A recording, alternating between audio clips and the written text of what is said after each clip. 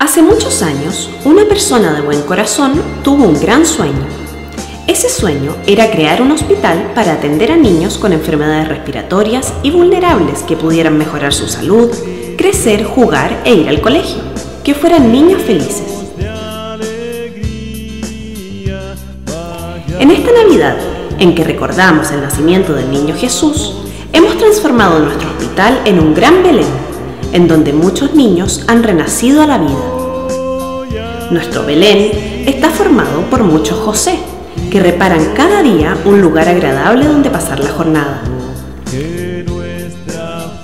Personas que otorgan bienestar y compromiso con este Belén, enseñándole a los niños nuevas formas de crecer, respirar y conocer el mundo.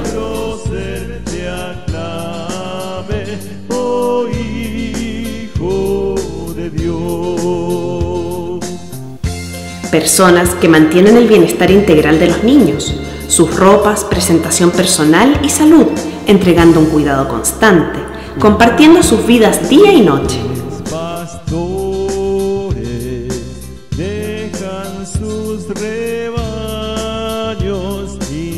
Hay personas que diagnostican y proponen formas de actuar para que cada niño crezca sanamente y fortaleciendo sus habilidades al máximo. Silenciosamente, hay personas que cuidan que este Belén se mantenga activo, en armonía y dinamismo. Hay pastores que ofrecen amor y cariño a través de la alimentación cotidiana.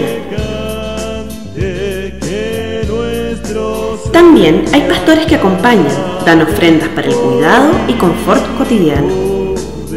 Están los Reyes Magos, que con su sabiduría y conocimiento organizan y guían el camino para otorgar el mejor cuidado a los niños. En el Hospital Josefina Martínez, todos somos importantes para construir nuestro Belén y les deseamos una feliz Navidad y próspero Año Nuevo.